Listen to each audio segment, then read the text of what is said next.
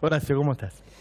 Bueno, preocupado por lo que pasó el miércoles en la avenida 9 de julio, la represión planificada por el gobierno contra una manifestación pacífica compuesta fundamentalmente por mujeres y chicos que estaban pidiendo una serie de reclamos muy precisos que el gobierno no quiere escuchar y que enfrentó con la mayor violencia. Hay, hay un detalle que la mayoría de los medios trataron de pegar a, los que estaban ahí con el kirchnerismo. Y yo, por lo que veía, son los mismos que le hacían la manifestación al kirchnerismo, en general. Bueno, eh, ahí había el, Frente por el Trabajo y la Dignidad Milagro Sala, está compuesto por 19 organizaciones, entre las cuales hay varias que están identificadas con el kirchnerismo lo cual no equivale a decir que respondan directivas de Cristina Fernández o que, digamos, las cosas que ellos hacen deban interpretarse en esa clave. Lo que ellos fueron a plantear allí era la necesidad de que el Estado se hiciera cargo de situaciones muy graves que vinieron produciéndose en los últimos meses. Eh, tanto Rodríguez Larreta como em, eh, Carolina Stanley dijeron que el reclamo no era claro, que era confuso y que en realidad lo que buscaban era generar violencia. Y no es así. No, no es así. En primer lugar, el reclamo era muy concreto y específico. En primer lugar, pidieron la emergencia alimentaria.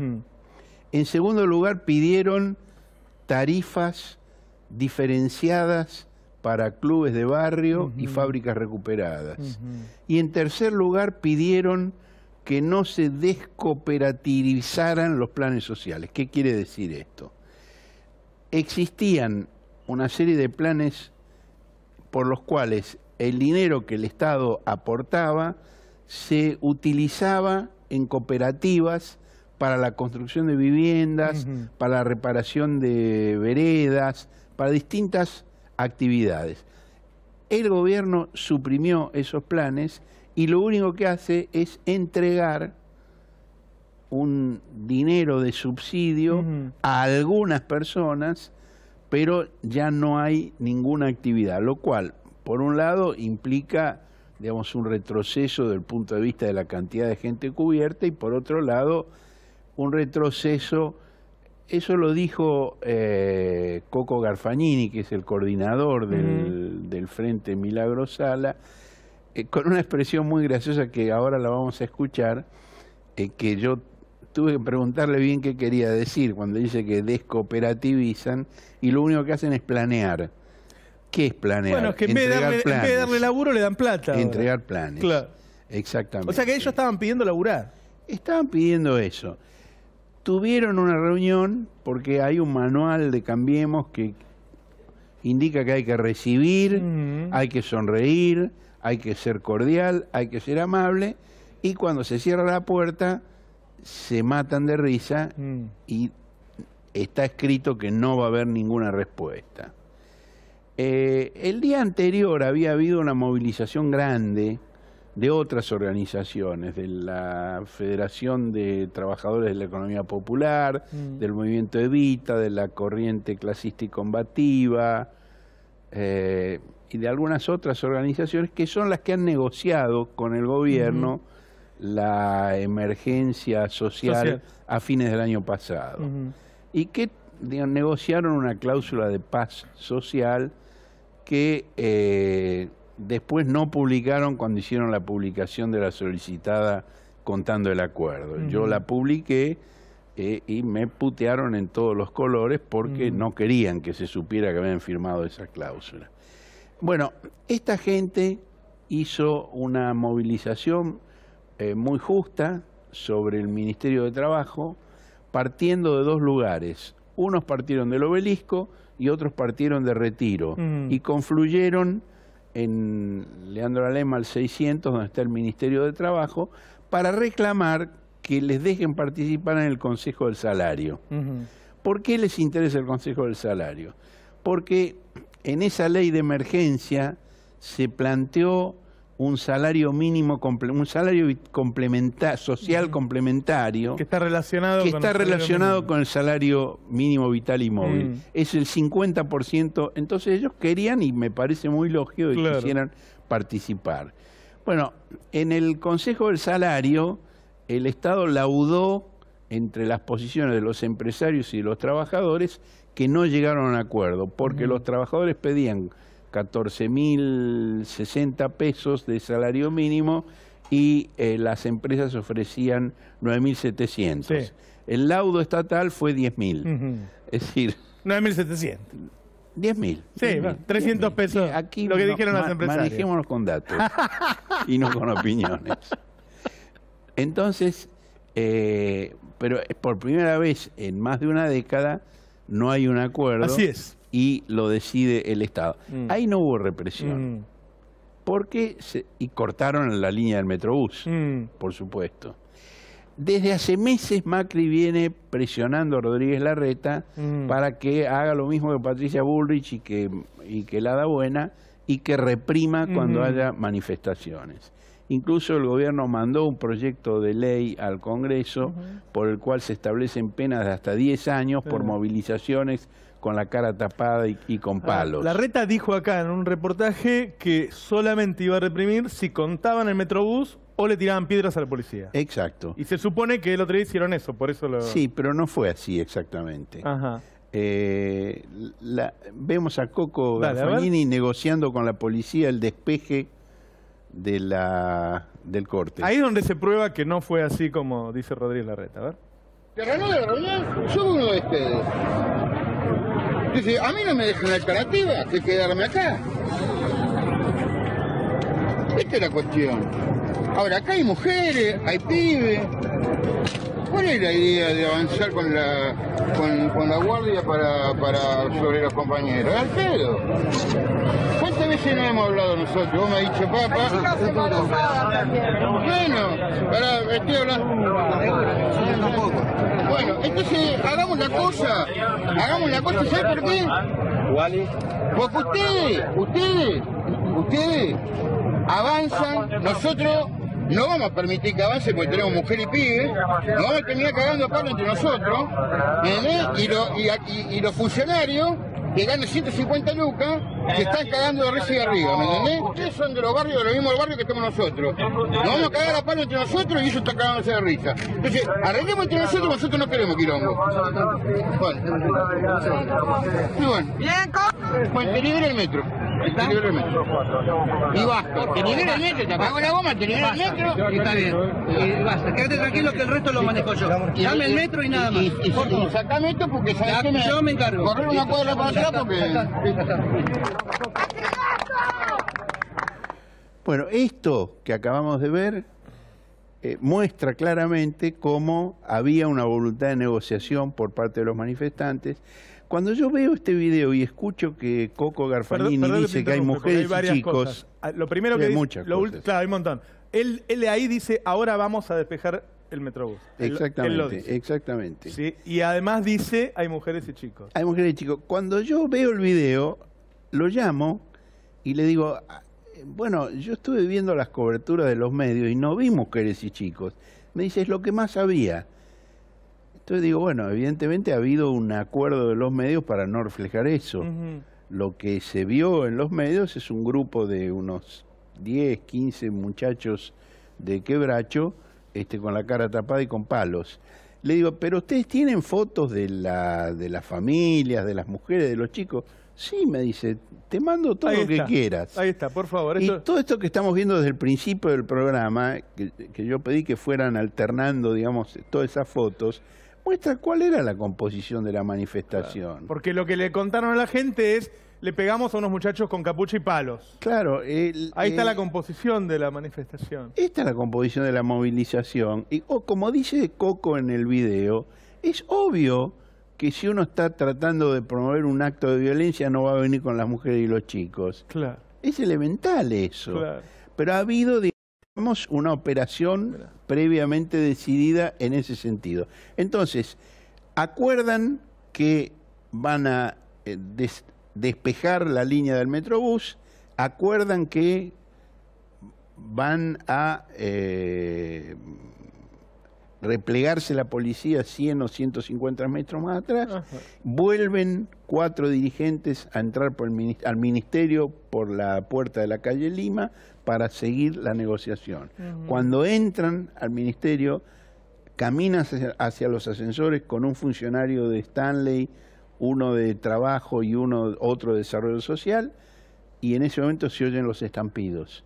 Entonces, ¿qué está pasando? Están reprimiendo. No, no pasa nada, dicen los funcionarios. Entonces, hablen ustedes con la policía, dicen los manifestantes. No, dicen los funcionarios. Entonces, los militantes salen corriendo a la calle y en ese momento ven que comienza la represión. Tenemos también un video que muestra el momento en que comienza la represión. Estaba la foto recién donde ya estaba vacío. Espera, ah, la foto. Luego. Vamos al video primero. Militantes aparentemente han llegado a un acuerdo. En este momento están la policía avanzando, en un momento está avanzando. Del otro lado los militantes de quebracho que permanecen ahí en la 9 de julio y acá vemos a la referente que trata de hablar con la policía. ¿Qué le vas a decir? ¡Decile! ¡Decile, Carla! ¡Carla, modulá!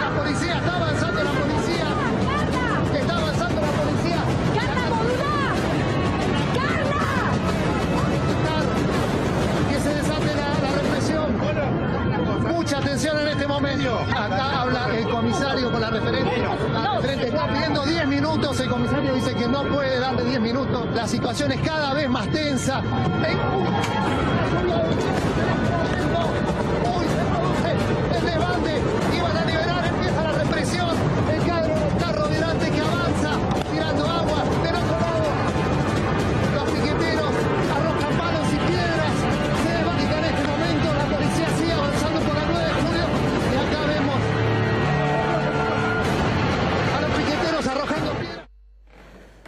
El mismo periodista de Animales Sueltos dice han llegado a un acuerdo, los manifestantes se van a correr. Han llegado y ahí a un acuerdo. Dice, y ahí dice, pero empiezan a atacar, empiezan, a atacar.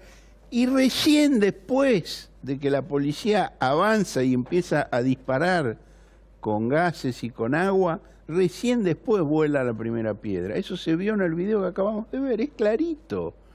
No hubo un grupo de violentos que provocó a la policía hubo una violencia institucional dirigida a un grupo de mujeres y niños y se usó como pretexto la presencia de las personas con la cara tapada, que quiero recordar que no es un delito tipificado en la República Argentina.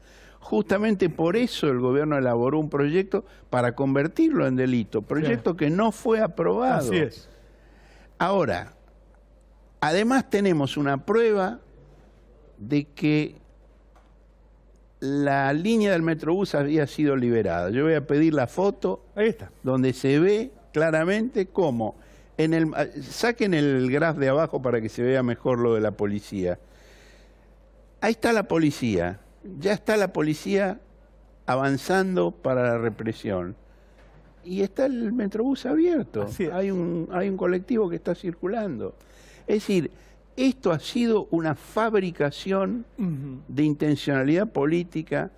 El gobierno entiende que la mano dura contra la gente que reclama por los derechos perdidos es un buen argumento electoral. Es parte del plan electoral.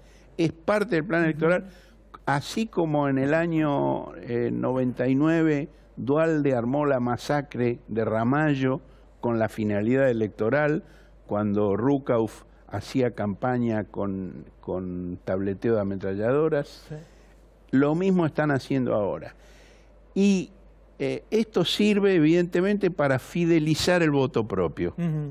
El núcleo duro, el 28% que tuvieron en las primarias del 15 o el 34 al que llegaron sumando radicales y coalición cívica libertadora en este, la primera vuelta presidencial. Y si a esto se suma la división de la oposición este, y el servicio que está prestando Randazo con esto y el sostenimiento de, masa, el gobierno entiende que en la provincia de Buenos Aires, si logran fidelizar la base propia, pueden este, eh, ganar la elección con 34%. ¿A qué costo? Al No, costo pero además, de incrementar los niveles de violencia en la sociedad Ellos argentina. dicen que hay gente que está de acuerdo, pero está de acuerdo con un relato que no contaron. Bueno, en la edición de el sábado de ayer del diario La Nación Sí. hay una columna muy interesante de Francisco Olivera, que es el columnista de Carlos Pañi, donde dice con todas las letras que la represión que se hizo eh, frente al ministerio a estos grupos que acabamos de ver fue decidida una semana antes en una reunión de la que participaron Macri, Marcos Peña Brown, Vidal. Carolina Stanley, Horacio Rodríguez Larreta y María Eugenia Vidal. Es. Es decir, es un acto planificado de violencia institucional contra mujeres y niños y se liga muy bien la perversidad de unos y la estupidez de otros, porque realmente poner en la primera fila a una docena de pibes con la cara tapada y palos no se puede calificar como otra cosa que un acto de estupidez. Y en ese sentido yo quiero recordar una frase este, de Juan Bautista Alberdi, que no aterroriza el que quiere, sino el que puede. Esos pibes no pueden aterrorizar a nadie. Poneme la foto de nuevo, Mariano.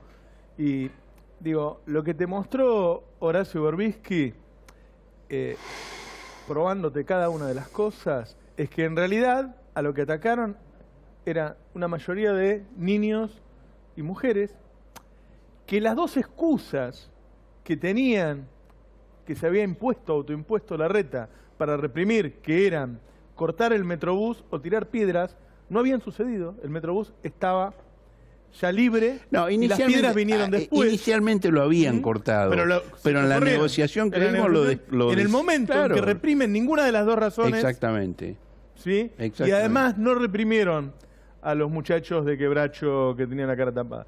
Reprimieron a un colectivo en donde había mujeres, en donde había niños, y como decís vos, no sé por qué se les ocurre poner a quebracho Y si, ten- adelante si tenemos, si tenemos unos, unos segundos más, tenemos también un video de la acción ilegal de policías de civil capturando gente a los golpes en la manifestación. Bueno, esa es otra cosa que en democracia, yo no, no- ¿qué, qué registro tenemos, eh, Horacio? Ha habido algunos casos, Casos. previos, este, pero ha sido muy controlado. No ha habido un jefe de gobierno que saliera a decir que actuaron con gran profesionalismo. Ahí están. Ahí lo tenemos, ese es el profesionalismo. Así actúan. Ahí está. Eso es ilegal, eso contradice los protocolos internacionales al respecto. Y si tenemos este, la, para terminar la foto de Alberto Jerez sangrando por los golpes, quisiera cerrar el bloque con esa imagen.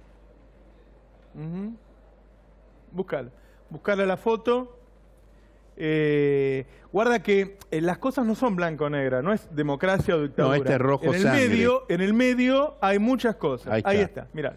Alberto Jerez, un manifestante reducido por la policía a golpes, es una imagen que parece de Bregel o del Bosco, que yo no pensé que íbamos a ver en la Argentina una cosa tan tremenda. Horacio, muchas gracias. Gracias a vos.